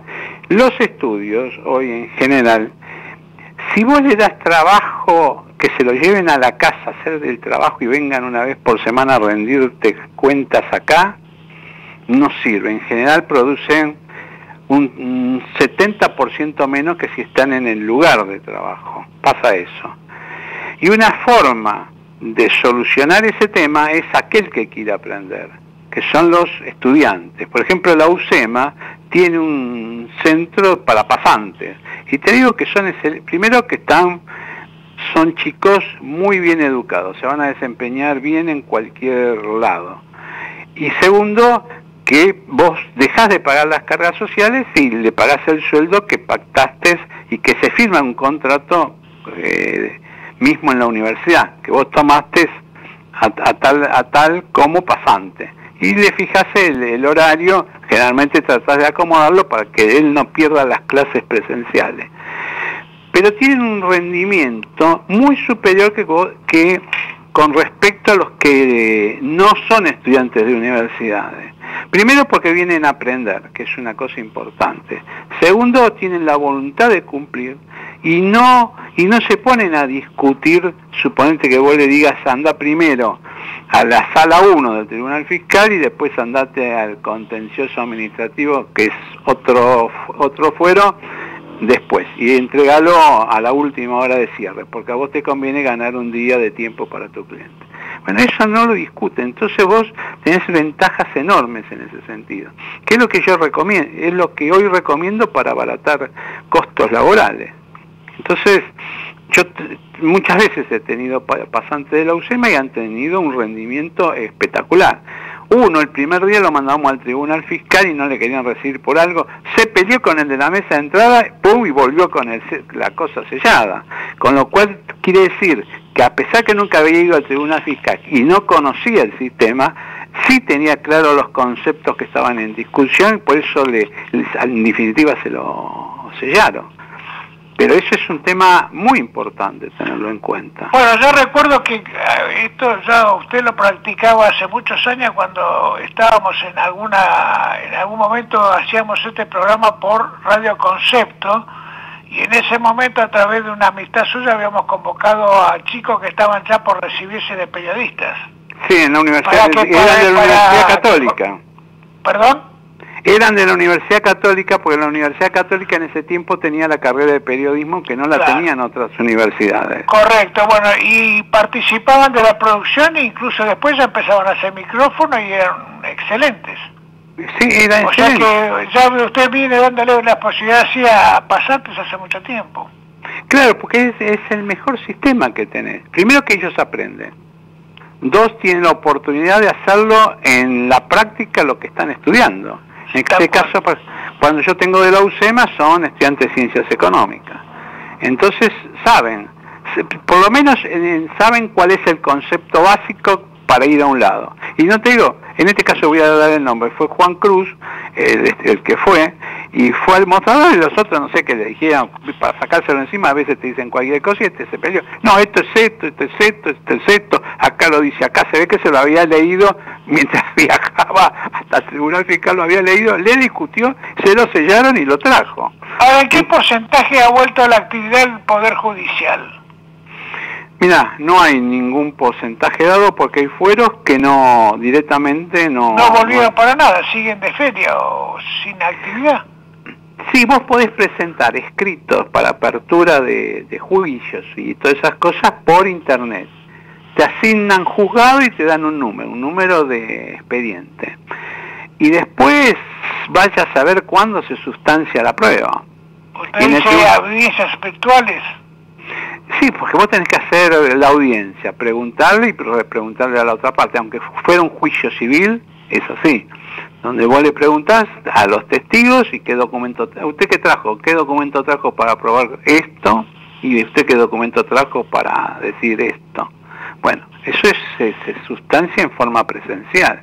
Igual que las audiencias del Tribunal Fiscal, donde se discute un tema técnico, eh, tiene que ser en forma presencial. Generalmente, ahí la audiencia la llevan los propios vocales de la sala que te tocó en suerte, y la parte técnica la defendés vos porque es prácticamente todo contabilidad y economía. Entonces, si vas con el abogado, porque ahí firman dos, el abogado y un contador, son los títulos que se usan para firmar, aunque tuvieras 10.000 títulos, eh, los dos que se usan son esos, y tenés que defender la, prueba que vos presentaste. Salvo que sea muy técnica, como por ejemplo cuando presentamos pruebas técnicas como la del ingeniero Torok. Bueno, en ese caso eh, tuvo que ir Torok, porque te imaginas que de computación sabemos hacer mail, pero lo que tiene la computadora con la computadora adentro lo sabe que era el, el testigo era, digamos, nuestro perito de partes.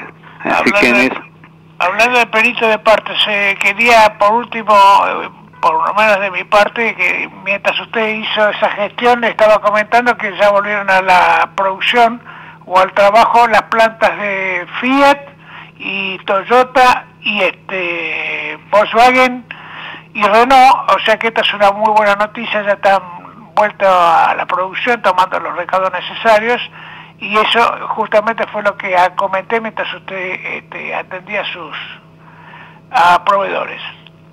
Así que bueno, le quedan los últimos tres minutos para que presente a la licenciada Verónica. No, no, no eh, ahí voy a decir ¿no? que los gobiernos estos, donde Mario Vargas Llosa advirtió que con la desaparición del comunismo el, populismo representaba actualmente el principal enemigo que enfrenta la democracia liberal. En realidad, hasta ahora ningún gobierno del mundo ha demostrado democracia realmente porque vos tenés que los que votan tendrían que estar en las mismas condiciones digamos de conocimientos para poder eh, dilucidar el voto en forma y bien. Eso me parece a mí que es muy, muy importante, lo mismo que dedicarte a, estudiar cuáles son los mejores sistemas de producción y mientras estás en tu casa puedes agarrar eh, inglés, que hay ese online y es gratis, y empezar a estudiar un poquito de inglés. Esa es mi recomendación antes del programa Artistas All Over the World. Si mi pronunciación le gustó, fue porque la aprendí online. Excelente, y encima ahora que se va a internacionalizar, o sea, va, a causar doble impacto. Sí, lo dejo porque tienen 31 minutos de programa, si no le va a quedar uno fuera. Que tenga una buena semana, doctor. Gracias, después nos llamamos. Muy bien. Ecomedios.com AM1220. Estamos con vos. Estamos en vos. Gracias por quedarte en casa. Gracias por no ser familiero. Por el aguante de vivir sin fútbol. Por hacer que cada día sea distinto para los más chicos. Pero también gracias por salir y arriesgar tu vida para salvar muchas otras. Por ir al campo. Por llevar el trabajo a los más importantes. Por estar ahí, en la caja del súper, como si nada hubiese cambiado. Gracias por el esfuerzo, por el optimismo, por darle para adelante. Aislados, pero más unidos que nunca. Argentina Unida. Argentina Presidencia. Descarga gratis de tu celular la aplicación Ecomedios. Podés escucharnos en vivo, informarte con las últimas noticias y entrevistas en audio y video. Búscala y bajate la aplicación Ecomedios. No aplaudamos al mosquito, combatámoslo en serio. Para combatir el dengue, el zika y el chikungunya, evitemos que los mosquitos piquen y se reproduzcan. Usemos repelentes, coloquemos tules en la cuna de los bebés y demos vuelta a contenedores para que no se acumule el agua. Si tenés fiebre alta, dolor de cabeza y dolor muscular, no te automediques y acudí al médico. Encontrá más información en argentina.gov.ar. Argentina Unida, Ministerio de Salud, Argentina Presidencia. Conectate con nosotros. Eco arroba ecomedios.com Global Inversión. El único fondo de inversión agropecuario focalizado en especies aromáticas. Más información en nuestra página globalinversión.com. En noticias y economía.com.ar vas a encontrar la información y la opinión que no sale en otros lados.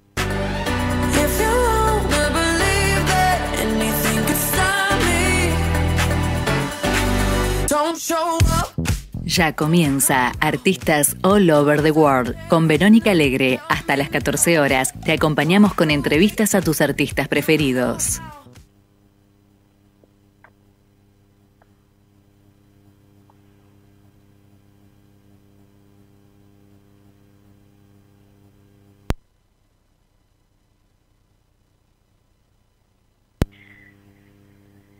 Buenas tardes, buen miércoles para todos. Eh, les comento que hoy tenemos una super invitada que es Ada Luz. Ella es actriz, es mitad colombiana y mitad brasilera. Además también es conductora, youtubera y viajera por el mundo y escribe libros que son muy interesantes porque son eh, inspiracionales para que todos podamos realizar nuestros sueños. En la nota nos va a contar un poco de su nuevo emprendimiento de viajar por el mundo, que se llama La Morada por el Mundo. Y por supuesto, por supuesto también vamos a hablar de arte en Brasil y en Colombia. ¿La escuchamos? Dale. Bueno, buenos días. Estamos aquí con Ada Luz. Ella es actriz, presentadora, es youtuber, es escritora de libros de viajes e inspiracionales. ¿Cómo estás, Ada? Hola Verónica, bien, muchas gracias por invitarme a este espacio sagrado. Estoy muy feliz, es un honor para mí estar acá. Gracias. Gracias a vos. Eh, bueno, no sé por dónde comenzar. Comentanos un poco cómo fue esto de pasar de ser actriz a, viajar por el mundo con, con, este proyecto hermoso que tenés. ¿Cómo, ¿Cómo fue ese paso? Bueno, pues es un sueño de toda mi vida, de, ser, de viajar, de vivir en un motorhome, en un carro casa. Y, y bueno, ya venía así como mm, pensándolo, deseándolo, hasta que vi que hay mucha gente que vive viajando y que están haciendo videos de YouTube y que se puede vivir viajando, ¿sabes? Entonces eh, decidí como mm, apostarle a eso, a usar mi, mi, calidad de actriz y presentadora para estar frente a las cámaras, filmar y mostrarle a la gente el mundo. Y me junté también con un joven que también tiene el mismo sueño de infancia. Entonces, fueron tres años organizando eso también, pues yo deseé mucho durante muchos años como ser contratada para, ¿no? Para National Geographic, para eh, Travel and Living, como que todos esos, esos canales de viaje. Y fui contratada para un programa de National Geographic en el 2010, que era viajar de Brasil, donde vivía, a Colombia para mostrar las maravillas de Colombia. Y este programa fue así como, ¡puf! ¡Qué espectáculo! Lo máximo pero duró 10 días, pero y pues no se renovó el contrato porque era algo como, eh, ¿sabes? Que ellos tenían planeado con con el Secretaría de Turismo de, de, Colombia, National Geographic, y bueno, como que una campaña muy puntual. Entonces no era como, ay, sí, ahora contrátame para el mundo entero, sino que ellos querían como eso. Entonces ahí me quedó como el bichito, ¿no? Como listo, ya lo logré, ahora pues lo voy a hacer yo misma. Y hoy en día YouTube es una, me encanta porque es como tu propia televisión, es que tú seas dueño de tu propio canal, ¿sabes? Entonces me encanta eso y lo estoy explorando. La verdad, estoy empezando todavía. Hemos hecho videos ya del año entero que llevamos viajando, pero hasta ahora estamos lanzando las ediciones. Los primeros no están tan buenos porque estábamos aprendiendo el lenguaje, aprendiendo, aunque a la gente le supuesto. encanta, pero o sea, Eso siempre le pasa a todos los youtubers, ¿o no? Siempre al principio, igual ya, ten- ya tienen un montonazo de videos subidos. Yo ya estuve viendo el, el canal de YouTube de ustedes. Sí, ya tenemos 11 videos de entrevistas que nos han hecho sobre el viaje en televisión, en radio, y tenemos tres nuestros, de nuestro blog, digamos. Eh, pero hemos filmado todos los días del viaje, o sea, son 365, ¿sabes? Más o menos videos que vamos a tener. Eh, a, la gente le está encantando esos videos, o sea, como que se ríen y tal. Nosotros que somos más autocríticos, es como, esperen que dentro de los videos más adelantados va a estar mucho mejor. Sí, sí. Y, mm, y un poco eh, esta experiencia de ser eh, youtuber. eh, ¿Qué le podés recomendar a un chico que quizás está comenzando en esto del YouTube? Eh, ¿Cómo se puede cómo se puede lanzar? Vos que ya llevas varios, varios videos y ya tenés varios suscriptores también. Sí, eh, la, la mayor como recomendación es hágalo, no sea tan autocrítico, hágalo porque vas a mejorar en el camino. A mí me encanta un ejercicio y es ver a los youtubers que yo sigo, ver siempre, y hay esa opción como el más antiguo. Entonces ver el primer video, los primeros cinco videos de la persona y ves así como la iluminación, el sonido, la forma de expresarse, realmente es con el tiempo que uno va mejorando eso, como todo en la vida, ¿no? O sea, si uno ve sus primeras actuaciones, pues como actriz o primeras presentaciones, pues siempre hay un cambio muy grande. Entonces, háganlo. Y otro es, hagan de un tema que les apasione que les apasione, o sea, que ustedes puedan sentarse a hablar de ese tema horas y horas y que no se cansen porque realmente van a ser horas y horas, o sea, parece muy fácil, pero es un trabajo y hay que de- dedicarle a la investigación, a la edición, a hacer contenido, entonces si es algo que te apasiona, no te vas a cansar y no vas a sentir que es un trabajo. Y también sacaron un libro, contanos. Sí, acá está nuestro libro. Ese es el primer libro, eh, La morada por el mundo. Este es como en Estados Unidos, la idea es que hagamos un libro de cada país para que las personas que quieran visitar un país puedan tener como una ruta, puedan ver como puntos que hemos ido, lugares donde hemos dormido, eh, lugares que hemos visitado, como paisajes increíbles, desconocidos porque nosotros no vamos. Bueno, en algunos lugares obviamente hay que ir a los puntos turísticos, pero la mayor parte de nuestro viaje son lugares increíbles que la gente local nos lleva. Entonces es un viaje muy local, muy de la esencia, muy de lo más maravilloso que hay, que tú sabes, en cualquier ciudad. Pues sí, lo turístico es lindo, pero esos lugares, ¿sabes? El cafecito que es hermoso y delicioso, el jardincito secreto, el museo que nadie va, pero que es divino, o sea, como esas cosas así muy que solo la gente que vive lo sabe. Así es como lo hacemos y así es como mostramos acá en este libro, también como mostramos la forma en que lo logramos, en que en el momento en que decidimos salir no teníamos dinero, eh, nos tocó hacer muchas cosas para, para lograr eh, tener esto, salir de nuestra zona cómoda, eh, qui- dominar la mente, o sea, más que todo es dominar la mente, ¿sabes? No tener los miedos que todo el mundo te pone en la cabeza, que cómo vas a vivir en un carro, que cómo vas a vivir viajando, que dónde vas a sacar los recursos. Entonces, acá en este libro es como muy inspiracional de eso, de mostrar que si nosotros pudimos cumplir este sueño que era nuestro, tú puedes cumplir cualquier sueño que tengas, desde que lo organices, lo planees, lo planifiques, pues. Y, y bueno, acá damos un montón de tips eh, de eso también, de cómo lograr tus sueños. Y, y Ada, me imagino que en este momento, ¿en dónde estás? ¿En qué país estás? Ahorita estamos en Cancún, eh, nos prestaron un apartamento eh, para pasar esta temporada, cuidaditos y pues sin pasar ningún peligro y estamos Claro. aprovechando un montón este momento como de pausa después de un año de estar viajando para escribir el siguiente libro. Estoy escribiendo ahorita en este momento dos libros a la par. Eh, hacer un montón de entrevistas también a otros viajeros, que vamos a mostrar las mil maneras de vivir viajando. Hay, mira, unas historias, Verónica, una señora que viaja sola y tiene 80 años. Eh, una joven que antes viajaba con su pareja y ahora viaja sola. Otra joven que siempre ha viajado sola porque pues es así fue. Eh, pareja que viajan con tres gatos. Eh, otra pareja que viaja con tres perros.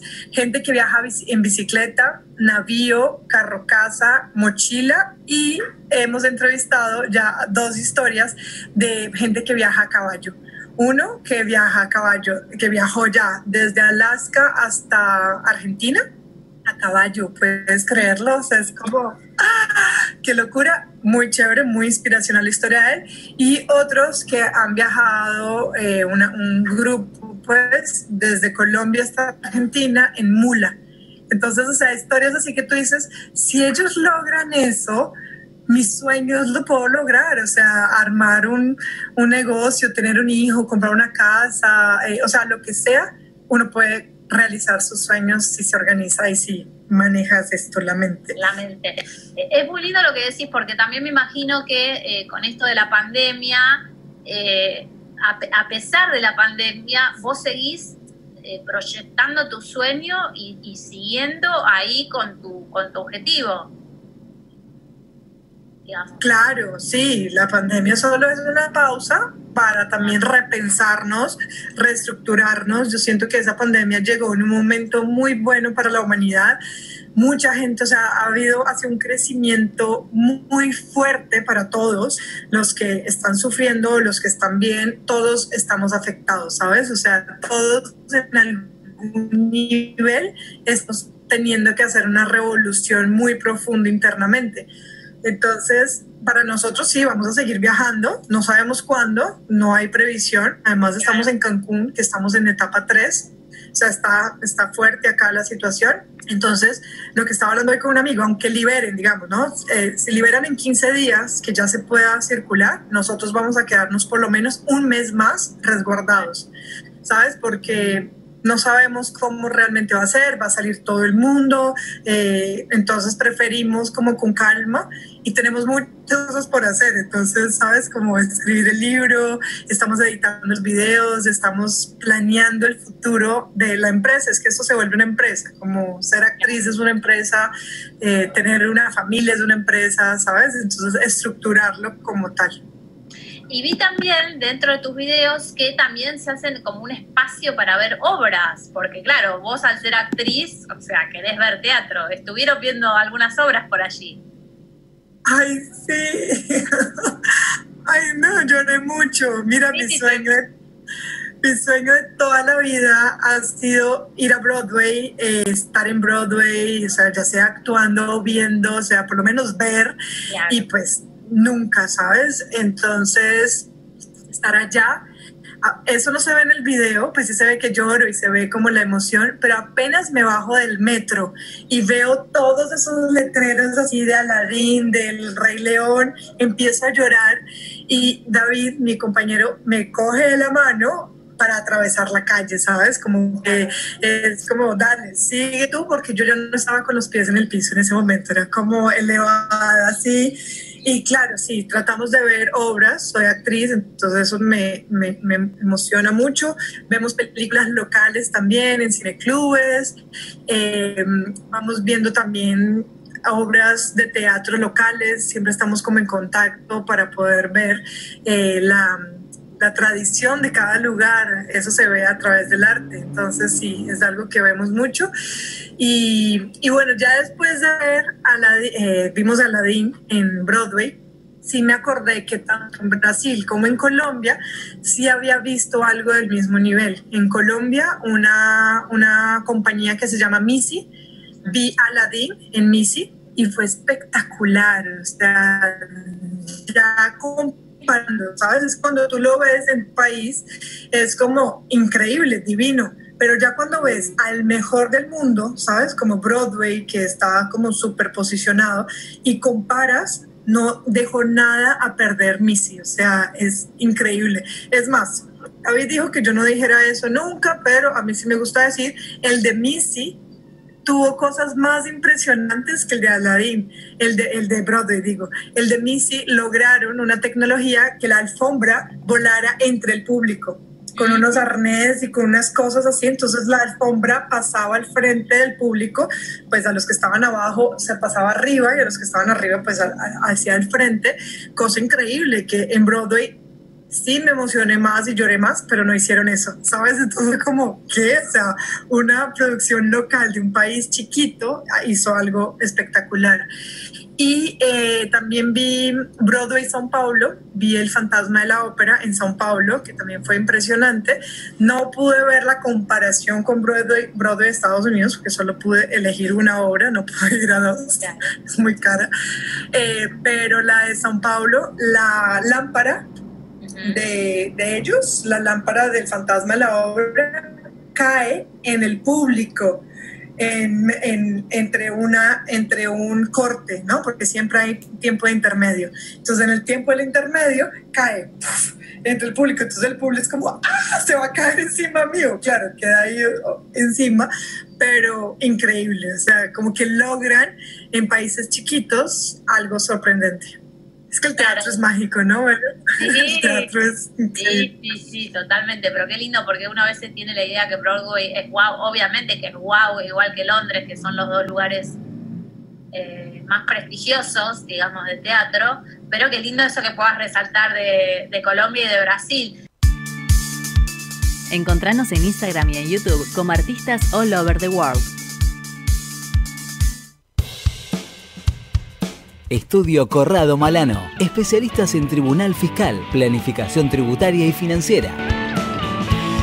Teléfono 5236-4328, 5236-4329.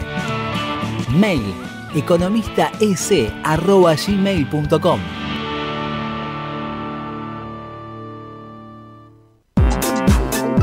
La solución ideal para aprender y practicar inglés en todos los niveles. Happy Easy English. Clases online y presenciales. Contactate por mail a vivians1001 gmail.com. Cursos de dramaturgia y supervisión de obra con Pablo Delía. www.pablodelia.com www.pablodelia.com ¿Sabías que podés hacer teatro online y presencial? Vero Alegre, coach actoral. Cursos de actuación en español e inglés. Ingresos a la carrera de actuación en las universidades de todo el mundo y cursos para empresas en el área de comunicación y venta. Instagram arroba Vero Alegre Coach Actoral. WhatsApp 11 57 69 20 15.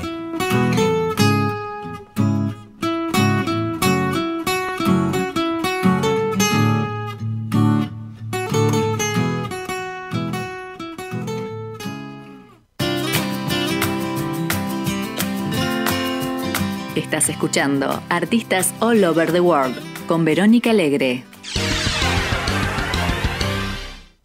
De Colombia y de Brasil porque son tus dos países, digamos, donde, donde has vivido un montón, porque en realidad vos naciste, ¿en dónde naciste?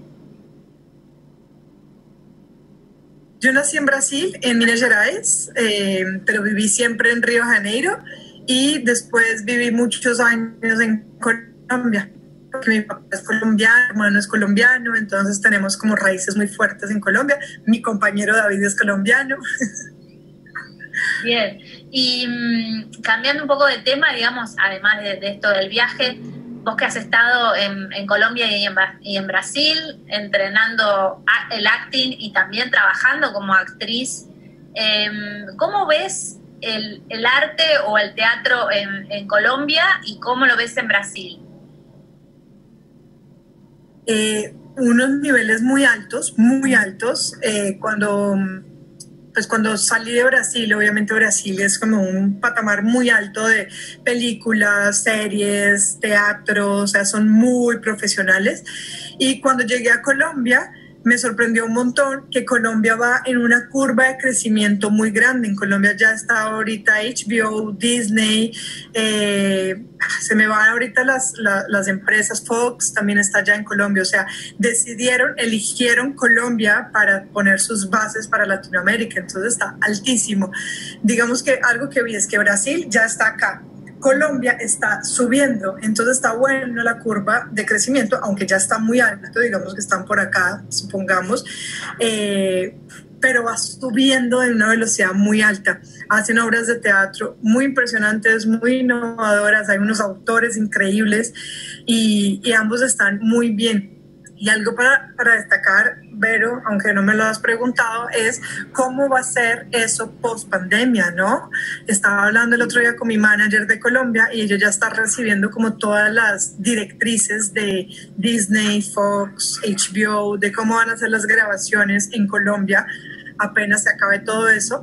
Y es como que ya no va a haber beso escénico, ya no va a haber, o sea, están viendo cómo resuelven eh, que los actores tienen que tener mínimo un metro de distancia entre ellos o un metro y medio, o sea, como un montón de parámetros, ya no va a haber escenas de multitud, o sea, están viendo cómo van a resolver un montón de temas que yo creo que eso va a ser pues muy revolucionario también, ¿no? O sea, cómo hacer un montón de cosas, están rompiendo la cabeza ahí pensando en alternativas para esa post.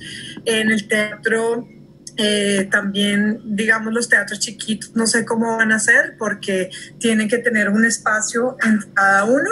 En los, entonces, pues imagínate, la taquilla eh, va a ser más difícil recuperar, ¿no? Porque no puedes llenar un teatro entero, sino que tienes que llenar dos teatros para generar el dinero de un teatro lleno.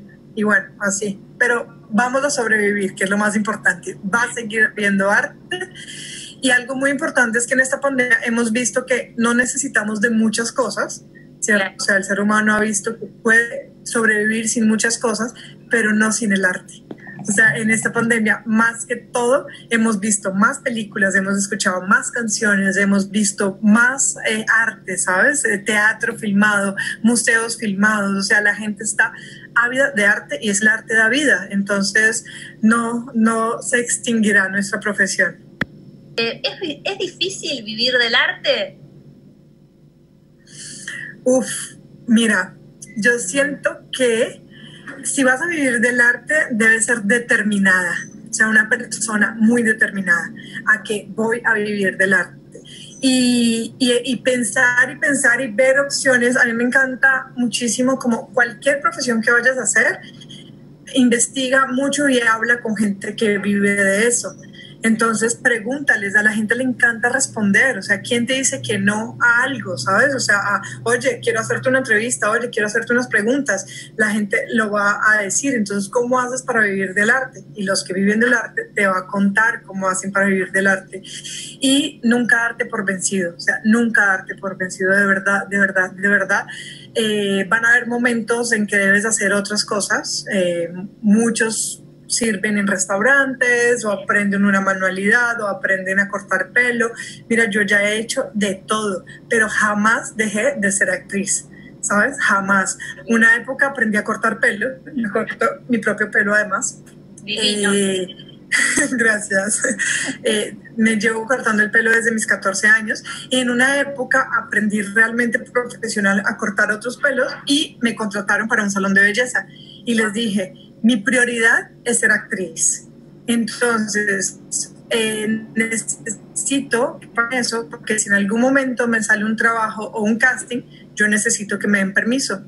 Y me dieron permiso, me dieron permiso. En ese año yo hice, hice cinco obras de teatro, entonces obviamente ensayos, ir a la obra y tal. Entonces siempre lo dejé como prioridad, ¿sabes? Perdí varios eh, clientes, o sea, como tengo que cortarme el pelo tal día, no, tal día tengo un estreno, no, pero tengo que ser tal día, pues no puedo, ¿sabes? Y bueno, entonces me voy a conseguir otro peluquero, pues dale, porque yo no voy a dejar de ser actriz por eso, ¿sabes? Entonces, y en, en el corte de pelo me ganaba, no sé, 50 dólares, en el teatro seguramente me ganaba 10 dólares, pero no son los 10 dólares, no es el dinero, es que estoy haciendo mi sueño y de ahí me sale una serie y de ahí me sale otra invitación a otra obra de teatro. Entonces, siempre estar así. Eh, también juntarse, o sea, yo siento que es muy importante siempre ser emprendedor, ¿sí? Entonces, aprender a, a hacer proyectos. Ese es un curso básico que nos deberían enseñar en todas las universidades de actuación y es crear proyectos. ¿Cómo vas a, conseguir patrocinadores, apoyadores? ¿Cómo vas a, a, contratar a las diferentes miles de personas que, que, hacen parte de un proyecto? Y yo ya he hecho mis propios cortometrajes, yo ya he hecho obras de teatro yo misma, yo ya he hecho un montón de cosas. O sea, ser productor, si quieres ser artista y vivir del arte, estudia producción o cásate con un productor, ¿sabes? Y qué era casarte con alguien por interés. Entonces, entonces lo mejor es que tú mismo seas productor. Entonces, produciendo además siempre te va a ir bien. Ah, y contanos, eh, ¿qué es lo que más te gusta de Brasil? Ay, Brasil todo. Amo Brasil. La comida es deliciosa, pão de queijo. Mm, se me hace la boca. Las playas son espectaculares, la gente es divina, la gente en Brasil son muy alegres, pues la mayoría son muy receptivos y reciben a la gente y son amigueros. Y Brasil tiene como que la gente de Brasil son muy, muy pro, muy profesionales, o sea, lo que se deciden hacer es como lo voy a hacer muy bien. Yo creo que como ellos durante muchos años no tuvieron mucha influencia externa, Brasil consume Brasil, ¿sí? o sea, tú ves Brasil, consume música brasilera, películas brasileras, consumen Ahorita ya está medio que entrando algo, pero entra por algún artista brasilero que invita a un artista extranjero, ¿sabes? O pues ya gente como Rolling Stones, Madonna, o sea, ya muy, muy alto nivel, pero que entre algo, algo es porque algún brasilero trae. Entonces, como Brasil consume Brasil, ellos hacen algo para un continente, porque Brasil es tamaño de un continente. Entonces, en Brasil me gusta mucho eso. Qué lindo. ¿Y de Colombia? También la comida, se nota que soy súper del estómago. la arepa, uy, la cantidad de sopas que hay, a mí me encanta. La gente en Colombia es muy diferente a la de Brasil, aunque son muy alegres también. Y algo muy bonito es que como son más reservados, no son tanto de, eh, ven para acá, sino más reservados, cuando ganas tu corazón es para siempre, ¿sabes? Entonces es como esa amistad que sabes que va a ser duradera y es muy buena y que siempre son muy resilientes, o sea, siempre están superándose, superándose, han pasado por una historia muy fuerte, entonces siempre están como, ya pasamos por eso, si pasamos por, esto, por esto también vamos a pasar, vamos, y se unen un montón. Qué lindo, qué lindo. Bueno, Ada, contanos un poco, eh, primero, ¿dónde la gente puede conseguir tu libro? Y repetirnos bueno, mi libro eh, se consigue. Repetinos el nombre del libro, digo. Listo. El libro se llama como el proyecto La Morada por el Mundo. La Morada por el Mundo. Eh, se consigue en Amazon para el mundo entero. Eh, Amazon lo envía físico o en electrónico. Entonces está ahí las dos opciones. En Amazon pues me pareció súper fácil porque lo mandan impreso desde una copia que pidas. Y bueno, pues si está cerca de nosotros, por ejemplo, ahorita estamos en México, pues lo podemos entregar en mano, firmado, como eso, ¿no? O también por el email, la morada por el mundo, arroba gmail.com si lo quieren en versión digital, lo pueden pedir a nosotros y por PayPal recibimos y pues se los enviamos. O sea, también se puede así. Si la persona no quiere como hacer compra en Amazon, no sé por qué. Pero la morada por el mundo. La morada por el mundo. ¿Y cuáles son las redes tuyas? Eh, estamos en todas con el mismo nombre, tuvimos mucha suerte de tener libre todos. Tenemos página web, lamoradaporelmundo.com, eh, Facebook, Instagram y Spotify, La Morada por el Mundo. Todavía no tenemos, bueno, también tenemos Pinterest y Twitter, pero no la hemos usado todavía. Estoy ahí como aprendiendo porque es mucha cosa. Nuestra red más fuerte es Instagram e YouTube, La Morada por el Mundo. Perfecto, perfecto. Bueno, muchas gracias por la entrevista. Eh, mucha suerte en este viaje por todo el mundo. Y bueno, y cuando, cuando puedas, tenés que venir para Argentina. Pues para allá vamos, obviamente es el, parte del proyecto, estamos hacia el sur, entonces sí llegaremos a Argentina para darte un abrazo, Vero, y, y comer, y comer delicioso las empanadas argentinas y tomar mate y el vinito. Sí, sí, totalmente. Un saludo a todos los que nos escuchan y acordate, escucha bien, que podés ver la entrevista completa en video en nuestro canal de Instagram y en el de YouTube. Suscríbete y vas a recibir todas nuestras notificaciones. En Instagram nos encontrás en IGTV en Artistas All Over the World, que se escribe así. Anótalo. Dale. Artistas A L L O B corta E R T H E W O R L D, que significa en inglés artistas alrededor de todo el mundo. Animate, dale, y mandanos un mensaje a nuestro Instagram contándonos a cuál artista te gustaría que entrevistemos. Y de cierre queremos agradecer a nuestro operador Javier, a Cecilia, la locutora, y al programa Café y Finanzas. Y haceme un favor, quédate en casa, cuídate y cuídame. Dale, hasta la próxima. Desde Buenos Aires, transmite LRI 224, AM 1220, Ecomedios. Econoticias. Toda la información al instante. Carla Bisotti sobre la caída de las consultas clínicas por temor a contagiarse coronavirus, la secretaria de Acceso a la Salud recordó la importancia de concurrir a los controles. En cada uno de los centros de salud se han organizado circuitos para que no tengan contacto las personas que puedan tener coronavirus con aquellas que consultan al médico por otras razones. Mientras crece la preocupación entre las autoridades clínicas y sanatorios por la caída de consultas por emergencias y enfermedades cardio y encéfalovasculares, la secretaria de Acceso a la Salud de la Nación, Carla Bisotti, recordó la importancia de mantener los controles médicos y aseguró que es seguro asistir a los centros de salud. Según una reciente publicación del Instituto Cardiovascular de Buenos Aires, la gente dejó de ir al médico y de realizarse estudios de diagnóstico por miedo a contagiarse coronavirus. Desde la institución alertaron que existe un riesgo de tener entre 6.000 y 9.000 muertes a causa de problemas cardiovasculares y otros problemas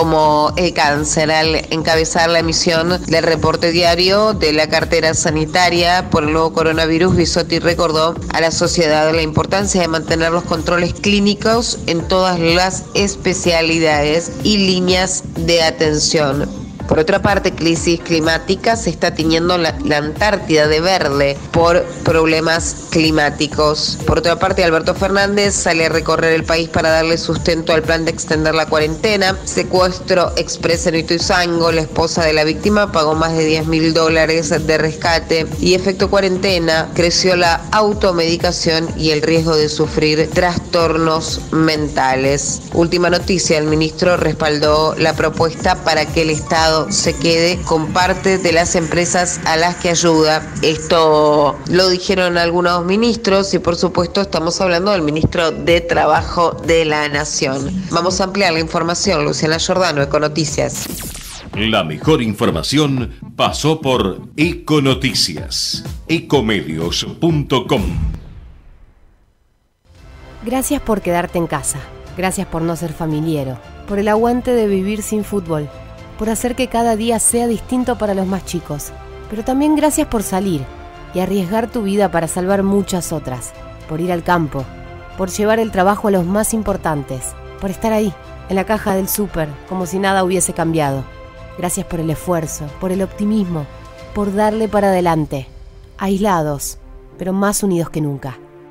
Argentina Unida, Argentina Presidencia.